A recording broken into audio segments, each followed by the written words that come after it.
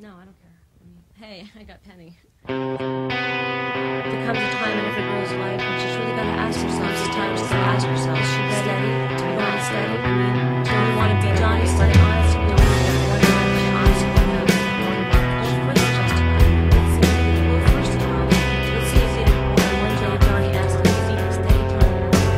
Decide to- Three important rules for breaking up. Don't put off breaking up when you know you want to. Prolonging the situation only makes it worse. Tell him honestly, simply, kindly, but firmly. And don't make a big production. Don't make up an elaborate story. This will help you avoid a big tear-jerking scene. If you want to date other people, say so. Be prepared for the boy to feel hurt and rejected. Even if you've gone together for only a short time and haven't been too serious, there's still a feeling of rejection when someone says she prefers the company of others to your exclusive company. But if you're honest and direct and avoid making a flowery emotional speech when you break the news, the boy respect you for your frankness and honestly, he'll appreciate the kind, straightforward manner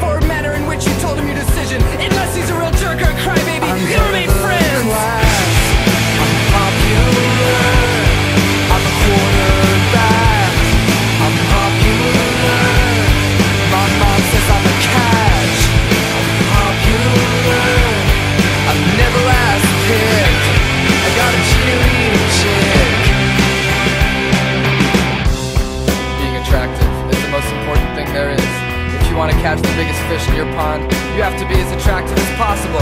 Make sure to keep your hair spotless and clean. Wash it at least every two weeks, once every two weeks. And if you see Johnny Football Hero in the hall,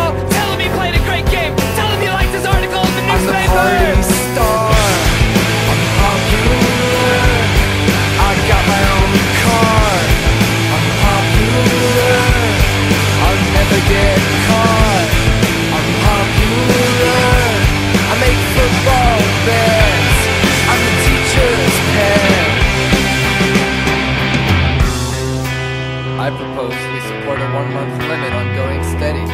I think it would keep people more able to deal with weird situations and get to know more people. I think if you're ready to go out with Johnny, now's the time to tell him about your one month limit. He won't mind, he'll appreciate your fresh look on dating. And once you've dated someone else, you can date him again. I'm sure he'll like it. Everyone will